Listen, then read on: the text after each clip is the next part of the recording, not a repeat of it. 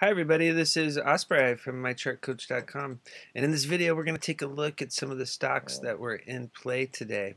Okay, so first up, let's take a look here. Let's see here. Okay, let's take a look here at HMNY. Okay, so so it, this is the 15 minute chart, and, and um, as you can see here, it broke out today above all the moving averages. That's why I wanted to show you this chart first. Um, it, as you can see on Friday, um, it had closed with the with the tight Bollinger Bands. Okay, and it was below the the, the 50, 100, and middle Bollinger Band on the 15 minute chart there was a gap up open at the open today, and, and, and, then it broke uh, at 10 o'clock above the 200 simple moving average. These were all signals that the stock was in play. Notice that it was on a big volume spike and then the share price ended up breaking the 300 simple moving average it pulled back and then at end of day when it finally turned into support and and at, at 245 that was a signal it was showtime. Notice there was a big uh, volume spike along with it and it pushed really strong into the close on heavy volume. So yeah that was a very big move for HMNY it's now trading above all the moving averages on the, the 15 minute chart. If it does pull back you want to see the candle stay above that 300 simple moving average at 1140 46. That is the big level. Once a stock gets above that level on the 15 minute chart, as long as it stays above, that signal the chart is still healthy. Okay, so let's look at the, the daily chart. Okay, so what's going on on the HMNY uh, daily chart is it came down and it held support. Um, no, notice the, the green line here is the 50 day simple moving average. So it held the support zone. We, we had been looking for a close above the pink line, which is EMA 4 at 1160. That finally happened today. There was finally a close above the two key resistance levels that, that we've been talking about, um, the, the, the EMA4 and the 50-day simple moving average, close above, above both of those and EMA8 and EMA13 at 1225. Notice how there's no upper wick on today's candle. High of day was the last day of the uh, was the last trade of the day. So so the bulls were in control into the close, and this was pushing in after hours trading. Um, so so now the big target is the middle Bollinger Band here at 1560. That's the the level we want to see break tomorrow. We want to see it close above that level. If that happens, then that could signal the possible start of a new uptrend. And then the upper Bollinger Band up here, and then the, the high close on the 11th will be the targets. Okay, so if it fails to break above the middle Bollinger Band and close above that level, that'll signal more consolidation. So it really needs to be above that level to get the new uptrend going. If it drops back below the 50-day simple moving average, that would be a signal that the bears are back in control and it would be a risk to hold if you are a bull. Notice there's a PSAR bull flip. So the green dots flip below the candles for the first time since the pullback started. So that's a very good signal. Also, uh, uh, if you look here, there's a big giant volume spike. So that's always uh, you know reassuring when a stock is breaking out or, or making a reversal. If it's on strong volume, that makes it uh, you know a stronger move. And so if you look down here at MACD, you'll see on the 8, 13, and 5 there, there was a bullish crossover today. Okay, so now now we've got the the MACD line hooking up on on the 12, 26, and 9, and bulls want to see that cross over the blue signal line. That would signal the possible start of a new uptrend. If you look here at the HMNY weekly chart, now in this chart, each candle represents one week of trading what you'll see here is it had three weeks of pulling back. It held EMA 13 support, that's the orange line at 1034. Notice the uptrend is still intact. It's trading above all the moving averages here. Notice you've got the middle Bollinger Band, the, the, the, uh, the that's the 20 week moving average, the 100, the 50, the 200, and the 300 week moving averages. It's trading above all of those levels. So that's very strong. Uh, what it needs to do now is get back above uh, the, the, the, the high close close, which is going to be the closing price here uh, for the uh, what is that the, the second week of October. And so so up here around uh, just above 20, around 20, 21, that's going to be the the target to the upside and the key level to break on the weekly chart. Now, if you look at the HMNY monthly chart, um, this is going to show us where that that big resistance level was that we uh, nailed on the big uh, run last month. So so if you guys were uh, um, you know had been following the videos and following uh, following on StockTwits, you know that, that we were looking for the 30 uh, resistance zone to, to, to be the top of the last run. And the reason why we thought that was because back here in 2005, that, that was a major resistance level. So it hit that, it pulled back, it formed a long upper wick.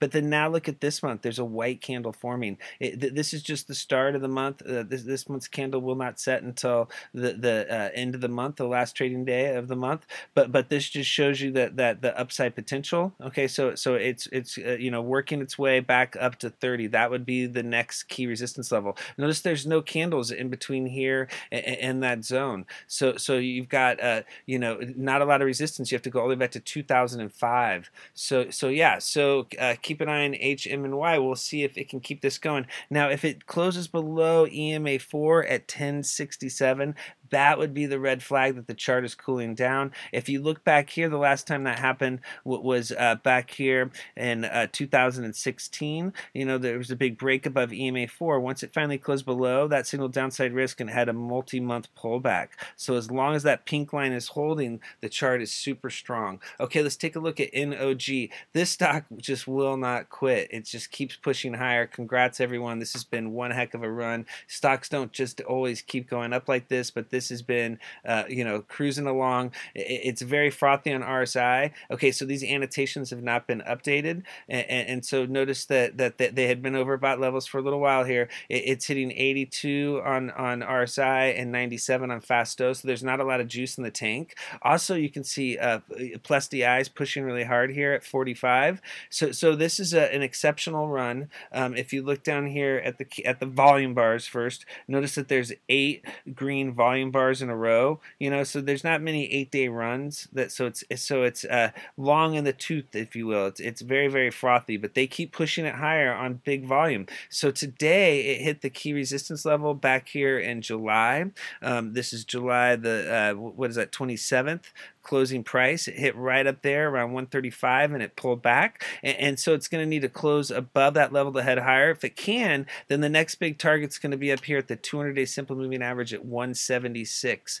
That is the next big moving average resistance level. If this 135 turns into resistance, you could see the candles work back into the bands. And then the big level to hold is going to be this 100 day simple moving average at 102. Notice the EMA 8's at 108. So the candles will likely drop all the way back down here and test that dollar level if it fails to break 135. It, when a stock makes a really big run like this and it's got a nice uptrend, you know, uh, it, the, the chart isn't broken when it pulls back. It's just giving you a chance to reload as long as support holds. So yeah, so we would be looking for one for uh, potential reload off of the 100-day simple moving average if it failed to break 135, break it 135, and then the, the signal would be to try to ride up here to the 200-day uh, simple moving average at 176. If you look here at the 15-minute chart, chart for NOG, you'll notice here it, it, it, was working on breaking high close resistance. That was the closing price here at 1145. It came down here. It held the middle Bollinger Band nicely today. It came back up. You know, it formed this the ascending triangle pattern,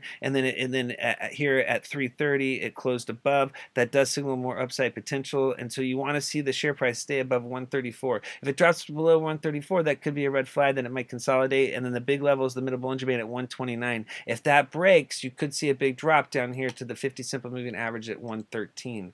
Okay, so take a look at ENRJ. Okay, so this is the 15 minute chart. I wanted to show you this first because it's breaking out above all the moving averages here. Um, notice it had the classic tight Bollinger Bands, all right, and then it, then it's uh, you know broke out here above uh, you know all the moving averages except for it had the 300 simple moving average, the blue line to break, and then that finally happened here at 215, and and so once again notice how, how when, when the, the 300 broke and the candles got above, the share price really got moving. So keep that in mind. Many times when a stock is in a consolidation pattern, the 300 simple moving average is on top and the 15 minute chart. And once it breaks above, that's the big catalyst for the stock to push higher. Now, now all it has to do is stay above this blue line. If it stays above it, that'll signal more upside. If it drops below, that will signal downside risk. Now notice how, how you've got the, the, the, the middle Bollinger Band crossing over the 300 simple moving average. That's exactly what you you want to see. So so as long as this middle Bollinger Band is holding, then the uptrend's intact, basically at 30 cents. If it drops below, that would signal uh, more consolidation. Notice big big volume was pouring into it as it was pushing higher. So so this is interesting. If you look at the this is the last ENRJ chart. So so first, I mean, you know, it's got juice in the tank. Look at Fasto. I mean, it's way down here at 14, so it's still at oversold levels on Fasto. And then you've got RSI at 61, so there's a lot of room to run here. Okay, so it's got major juice in the tank.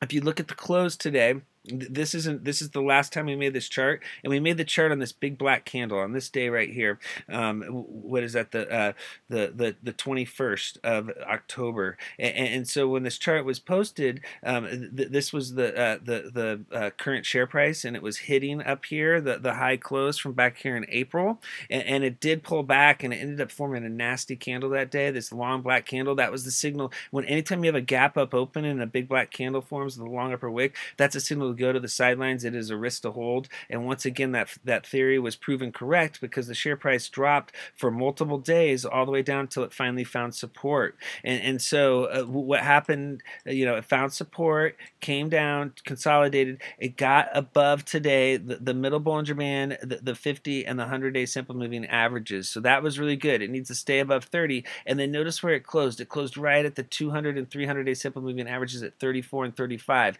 If it can close above both of those levels, that's going to be the big signal that it wants to head higher. Um, eh, um, that's going to that's what we're looking for tomorrow. We want to see it close above 35, and, and then you're going to have um, a couple of uh, key levels right here. The, the closing price, because this is the close, the bottom of this black candle uh, at, at, about 39. That's going to be the next big level to break. If it can close above 39, th then you could see it run up here. You've got the uh, high close here at 55, and then the really big levels up here uh, between 64 and 65, the high close from back there in April. So there's a lot of upside potential if this can close above 35. Notice that there's big volume behind the move. Okay, so so there was giant volume on, on, on this 21st of October, and the share price consolidated, and now there's uh, big volume today. You know, th th th this is a, a potential uh, loading pattern. We'll just have to see if it can break resistance. Okay, let's take a look at MOSY. Okay, so it had a nice move today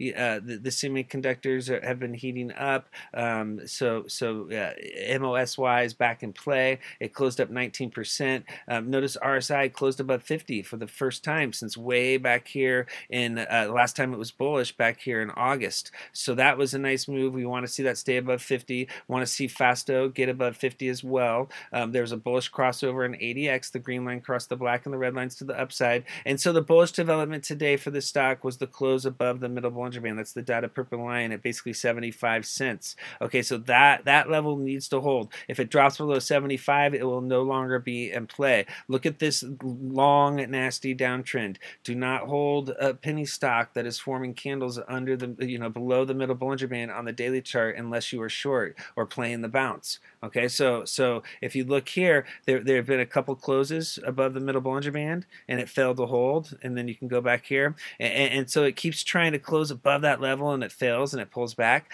maybe this will be the charm. Okay, so what's going to determine whether or not this is this is the time it's really going to head higher? Well, it's all about this green line right here, and that's the 50-day simple moving average, basically at 87 cents. It tested that level today, it broke it intraday, and it pulled back. If it closes above that level, that should be the signal it wants to head higher, and then we'll be shooting for dollar land and the 100-day simple moving average at 117. Notice when it ran in August, it did run all the way up to the 100-day simple moving average. You know, the upper wick on today's candle almost hit that level. So there's a, uh, you know, so so it is likely to, to, to, have a nice run all the way back up here to the 100-day simple moving average if it, if it can break this green line. Notice the uh, bullish volume spike today, so that that is a good sign. Except for there there was a, a really long upper wick on today's candle, so that that could be dilution. They could have sold some shares into the run. Um, if it's all going to be about the middle Bollinger Band. If the middle Bollinger Band holds, then it's in play. If it breaks, then it's no longer in play. Now, now notice these green dots here. When the share price, you know, got down to the PSAR level, um, the the the uh, dots uh, flipped above the candles up here, and, and, and so what happened was the, uh, the, the the dots have been above the candles this entire time for for the whole month of basically of September and October all the way heading into November, there has not been a bullish PSAR flip. And then today, the, the, the, the candles broke above the PSAR level, and SAR stands for stop or re reverse, and the dots have flipped below the candles. So that's signaling a possible uh, bullish change in trend. And, and so, uh, accompanied with the volume spike, that, that's signaling the chart is really heating up and the close above the middle Bollinger Band. There was also a bullish crossover on the 12, 26, and 9 MACD today. So that was another very key development. And there was an 8, 13, and 5 crossover last week. If you look back here in the, the uh, August run, it was the bullish crossover on MACD that signaled the start of the run. See, it, it, crossed over here and then it had a big run that followed. So we'll see if it'll follow suit and uh, keep pushing higher. Okay, let's look at CIE. Okay, so this is up 32% today. Uh, keep an eye on this stock. Um, it, it's it's breaking above the oversold level. So so really the, the only thing that matters on this chart is, is is EMA 4 right now. That's the pink line. You know this had a big drop. It's a dead cat bounce play. It had big volume down here. EMA 4 is at 71. If it can break above 71, there could be a trade with the run up to EMA 8 at 80. So the trade would be between 71 and 80. That'd be like a 10% gain. It could possibly run up to uh, the the EMA 13 to 89, and that would be a nice, you know, uh, th that would be a nice percentage gains from 70 if it could get above that level. Notice how it hasn't closed above EMA 13 in a, in a, a very very long time. You have to go off this chart, so that's going to be a tough level to break. Um, if for some reason it does break above EMA 13, you've got the middle Bollinger Band here at 98 cents, basically dollar land. If it can close above these levels, that would be the signal that, that this broken chart, where the bears have been the only ones winning, is finally, uh, you know, it's starting to head higher, and then you could get a possible uptrend. This is a risk to hold if, it, if it's closing below EMA 4. It has to close above EMA 4 to be in play, so keep an eye on it. We're going to see if it can do that tomorrow. And then finally, let's look at GNCA. This closed up 20% today. It had a nice move. It's above uh, the oversold levels now in RSI and Fasto. And so yeah, this is uh, similar to the last chart where it's a dead cat bounce play, but but notice how it closed above EMA's 4 and 8 today. So it closed above the pink and the green line. That was the first close above EMA 8 since this drop back here. There, there's a big gap on the chart in September between this is the top of the gap, the bottom of this candle, and the top of this candle is, is the uh, from the um, 26th is the bottom of the gap. And so what we're looking for now that there was a close above this lime colored line line, EMA 8, for the first time since the big pullback, that, that if it can break the orange line here, EMA 13 at 128, uh, then it, it, you know then it's got to get above the middle Bollinger Band at 138. If it can get above those two levels, th then our target's going to be up here at the bottom of the gap at two dollars. So so there could be a nice move here if it could get above that middle Bollinger Band. A close above the middle Bollinger Band would be really bullish, and, and you know you could see a run up to the upper Bollinger Band and to test this bottom of the gap level. So keep an eye on GNCA. Okay, thank you very much for viewing this video. If you'd like to learn more about charts and technical analysis, check us out at mychartcoach.com and our YouTube channel at mychartcoach.com. Thank you.